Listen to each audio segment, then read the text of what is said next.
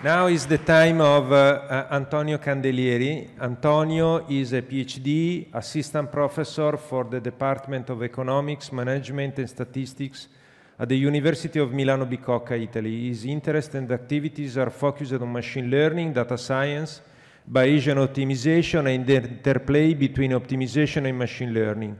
With respect to application domain, he worked on the design development of machine learning-based decision support system in healthcare, smart water distribution networks, personalized and sustainable mobility, critical infrastructure, protection, and resilience. The floor is yours. Thank you. Thank you. Antonio. Thank you so much, Danilo. Thank you so much for inviting me to this conference. It's the first time for me at Tiny Machine Learning. I'm really happy and proud to be here. Uh, even because I'm from the, let's say, more traditional, in brackets, machine learning community, but I think this work, it could be really important and interesting because it represents um, a first attempt of contamination between the two communities.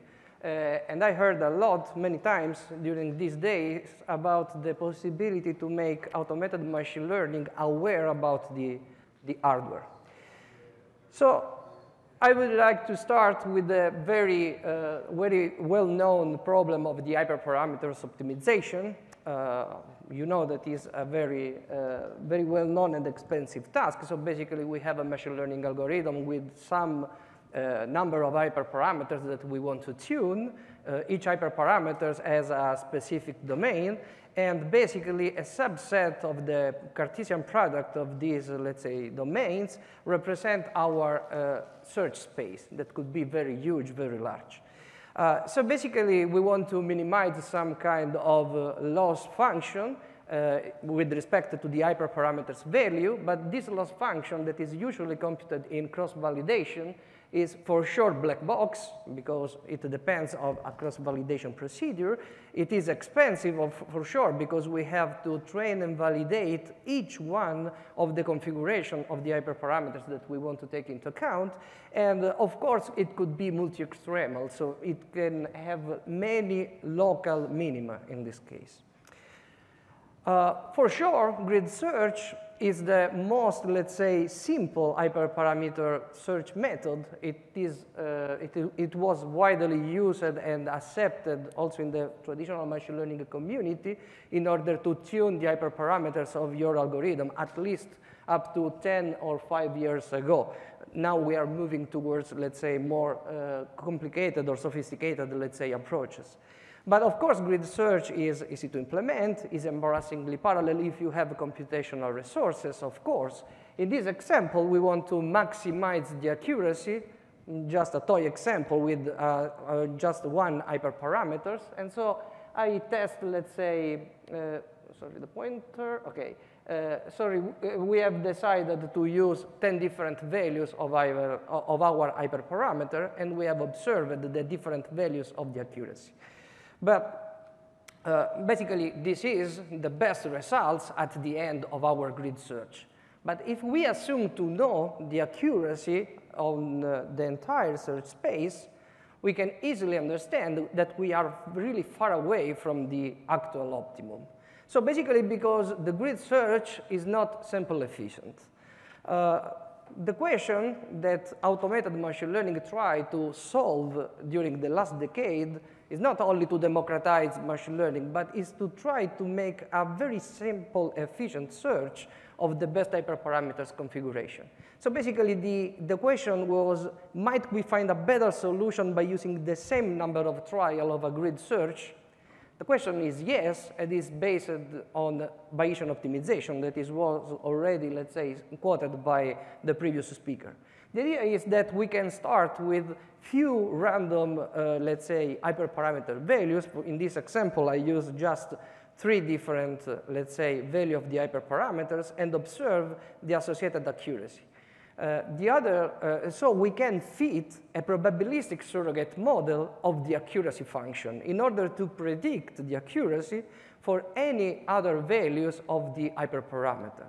Of course, it is important that the surrogate model is probabilistic because we need of both the prediction, that is the blue line, but also the uncertainty, that is the shaded area. Why? Because if we consider only the, the prediction, so basically the blue line, the maximum with respect to our approximation has been already achieved. Choice to explore the search space.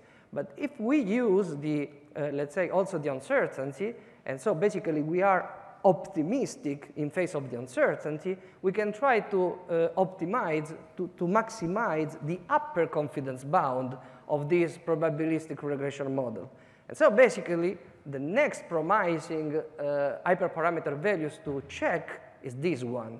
Okay, so we have the possibility to move uh, to explore uh, close to, let's say, the current maximum uh, of our observation. Of course, we can train and validate the new model with this value of the hyperparameter and observe the actual value of the, uh, of the accuracy. So we can update our probabilistic regression model. And in this case, you can see that the prediction does not change significantly, but the uh, uncertainty, of course, is reduced. This is one of the possible effects of Bayesian optimization. But we are performed just four trials four values of the hyperparameters. We still have more, uh, let's say, trials. So we can continue, and the next value is this one.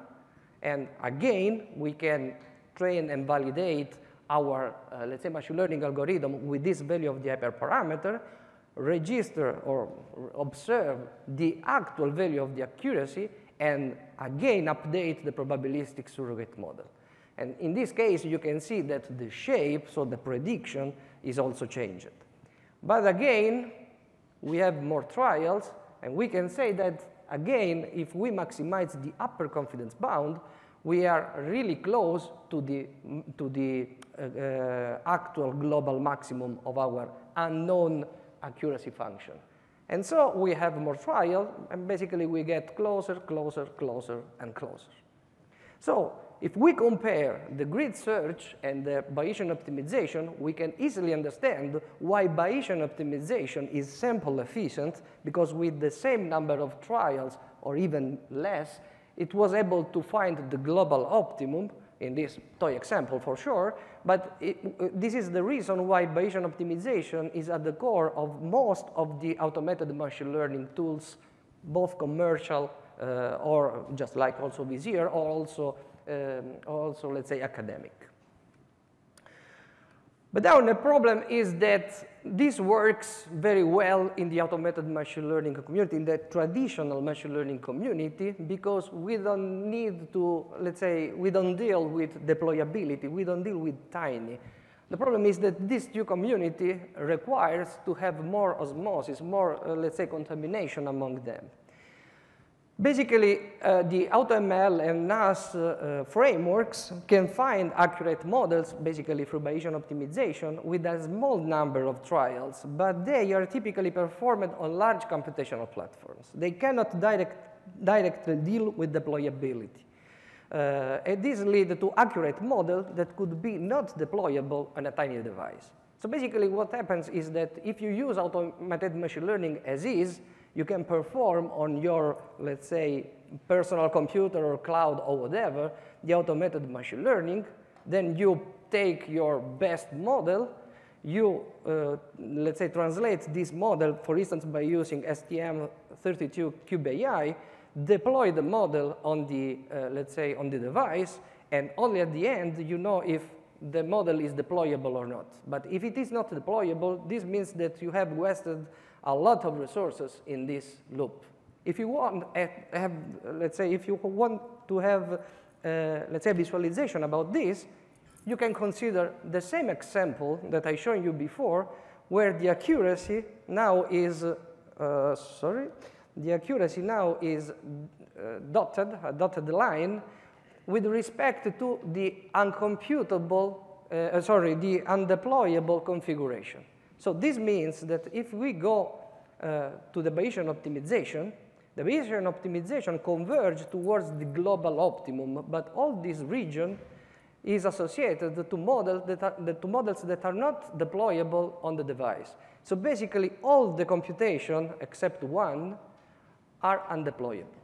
So this means that Bayesian optimization, automated machine learning, is not aware about the constraints, the hardware constraints of the device.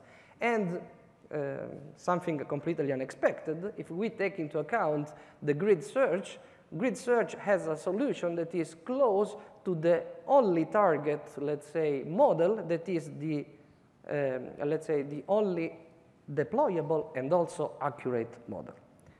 So how to improve Bayesian optimization in order to be, uh, let's say, uh, hardware, uh, hardware aware or constraint aware? Our idea it was to integrate, to perform a constrained automated machine learning, uh, let's say, framework.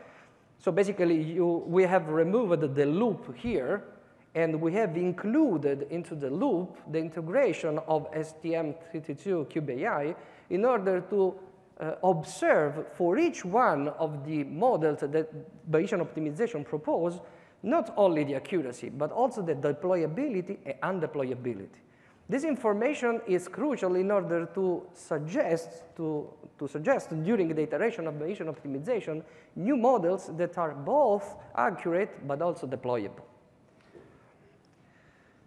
So when we, let's say, talk about automated machine learning in the machine learning community, the only way in which resources are considered is to try to, in, uh, it is made basically in multi-objective optimization in order to reduce running, let's say, uh, time on the virtual machine during training.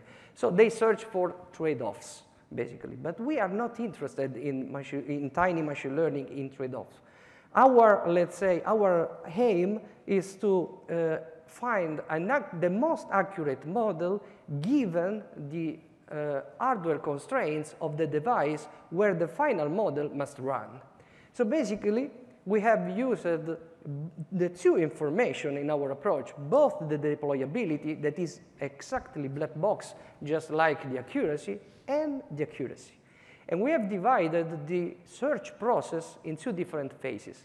The first phase is about estimate the sub, which is the sub-region of the search space associated to deployable models. And the second one is traditional Bayesian optimization within this, let's say, portion of the search space. This is just an animation about how the two phases works. So basically, we start with four different uh, four different, let's say, hyperparameters values, or four different configurations. Three of them are deployable and one not. And so basically in the first phase, the problem is a, a classification problem. We use here, let's say, maximum, uh, maximum margin classifier, SVM, in order to estimate the feasible, uh, the, the deployable region. So the next, let's say, configuration to test is taken in order to better approximate this, uh, let's say, this estimation. So picking a point close to the boundaries, but in order to cover the search space. So in this case, we have a new point that is a deployable model, and so our, let's say, estimation is, is going to shrink. But in the next, again, we select an undeployable model, and so our estimation increase. This process goes ahead iteratively uh, up to the end of phase one. Then in phase two, we have our traditional model, but the, but the optimization is performed only on the estimation of the feasible, of the deployable region, the white area. So basically, we can see that we can achieve the optimum, okay? And we have used four, let's say, uh, trial for the initialization, four for phase one, and two for phase two. So basically the same number of trials that I use in grid search and also in traditional Bayesian optimization. So we have performed two experiments by using the, the board of ST. Uh, the first experiment is related to user identification from, from walking activity datasets. And we started from a convolutional neural network, a baseline, uh, and we have considered, uh, in order to optimize its hyperparameters, and we have considered these search spaces for the two boards. So basically, it is important to remark that uh, the, uh, let's say, the baseline network is not deployable on the smallest board of, that we have selected from ST, uh, given any possible compression factors. But at the really end, if we compare the results, we can see, we can start from the big board, you can see that at the end we can obtain a model that is both, let's say, quite more accurate than the baseline and is, let's say, deployable on the big board with compression one. And the baseline is, was not, was, uh, sorry, I cannot come back. Uh, and the baseline was not deployable directly as is on the, on the big board. Okay, uh, the same also for the compression factor uh, times four, okay. Uh, the, the results are different for the tiny board because basically we can obtain a model that is deployable, but we have a reduction in terms of accuracy. Uh, for sure, okay, because uh, we can try to, let's say, deploy uh, uh, a model uh, uh, at any cost, let's say, for, uh, on, the, on, the, on the device. Ah, in this slide, okay, then the constraints are related to RAM, ROM, and X cross accuracy, but we have also reported MAC in order to understand, it is not a constraint, but in order to understand if there is any gain also in terms of MAC. And of course, if the compression factor is times 8, we are able to obtain uh, a model that is deployable on the, on the board, on the tiny board, and it is also accurate uh, as the baseline, more or less. Okay, these are results that have been, let's say, uh, presented at the International Conference on Artificial Neural Networks two years ago. Uh, during COVID, uh, unfortunately, but the work continues with respect to, the, to this uh, framework. We have performed a new experiment, for instance, this one that is about image classification. Again, we have baseline network uh, to, to, to consider for hyperparameters optimization, but in this experiment, we have also included an hyperparameter that is related to the architecture of the, of the convolutional uh, neural network, especially the possibility to skip one of the hidden layer in the convolutional neural network. In this case, the baseline was not for sure deployable neither on the uh, big or the, uh, let's say, tiny board provided by ST. But our approach is able at the end to obtain for the big board a deployable model that is also more accurate than the baseline and the solution uh, takes, takes into account also the removal of one uh, specific, specifically if I remember the first uh, convolutional layer into the baseline network. And uh, also for the tiny board, that is the smallest that we have considered, we obtain uh, a deployable model, of course, with a reduction uh, of accuracy that could be considered acceptable since it is less than 5%. We have also compared our approach with other Bayesian optimization or automated machine learning approaches coming, from the, let's say, traditional machine learning community, in particular the, the framework BOHB, Bayesian optimization and hyperband, by including some penalization with respect to the generation of undeployable, uh, let's say, models. But as you can see, this is the misclassification error instead of accuracy, the misclassification error over the uh, iteration of the Bayesian optimization. And you can see we are the blue line that basically we are more, let's say, uh, effective and efficient with respect to BOHB, both on the, mm, let's say, big and tiny board. With respect to code, you can find for sure a GitHub that is public with the core of the algorithm in particular, it was developed in R, this, this preliminary, let's say, repository. But we have also other two uh, private projects. At the moment, they are private. Uh, one in R and one in Python. Uh, that basically integrates STM Cube AI and perform the same experiment that I show you, show you here. Uh, in any case, you can contact me and I can, let's say, if you are interested in collaborating, in sharing the, uh, let's say, the, the repository. But they are not public at the moment. So in conclusion, the proposed approach allows to obtain accurate and deployable models, also on very tiny devices, without requiring any further compression or pruning. This, is, this does not mean that they are not useful, but that the model is able to provide, the, the approach is able to provide a model that is already deployable and accurate. And then you can decide to, let's say, perform any kind of quantization or compression or tuning in order to increase efficiency. Uh, again, it is important to understand that it is, it, is, it is a constrained approach and it is not a multi-objective. In any case, it could be interesting to take into account other metrics, and these are, let's say, ongoing works, uh, to, to, um, to address in other kind of application. For instance, we can take uh, in a, we, we can consider MAC as a further constraint if we, take, if we let's say, consider a specific application where uh, inference, uh, the inference time uh, is, let's say, critical. And so we want to pose, uh, we, to impose some kind of a constraint on the inference time and to use MACs as a proxy.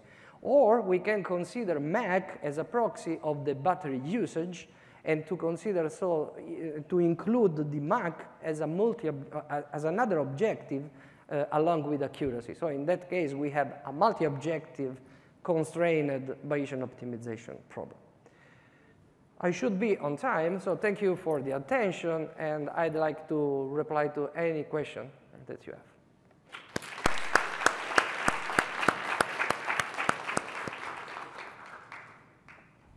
Hello, uh, really interesting talk. Uh, so when it comes to deployability, I'm curious the case studies that you showed, um, is the main barrier to deployability uh, sort of memory size of activations or are there other barriers uh, to deployability? Could you uh, speak to that? Sorry, I, I cannot hear very well. I hope to, to, to uh, let's say, to understood the, the, the question. if the question is about the constraints, we have considered these constraints that are related to RAM, ROM usage, and X cross accuracy, that is basically the, uh, let's say, the compliance between the accuracy of the model trained on the, let's say, computer on the cloud and the accuracy of the model after its translation to be run on the, on the device. But there's no quantization? it's not, is, no, no, there is not quantization, no, no quantization. Right. Thank you. You're welcome. Okay, uh, thank you so much. We are uh, five minutes in delay. Thank you so much, Antonio, uh, for your great talk. You're welcome. Thank you. And we are very thankful for, for our sponsors. Uh, the executive, the premier sponsor this year is, is Edge Impulse. Uh, uh, and then executive sponsors are ARM, Deeplite, Qualcomm, and Syntiant. Uh, Platinum sponsor analog devices, uh, BrainChip, Infineon, Clickertech, Latent AI, NXP, uh, Reality AI, Renesas, Sony Semiconductor, and Synaptics. Really very diverse company, gr great companies uh, who are really driving uh, TinyML forward.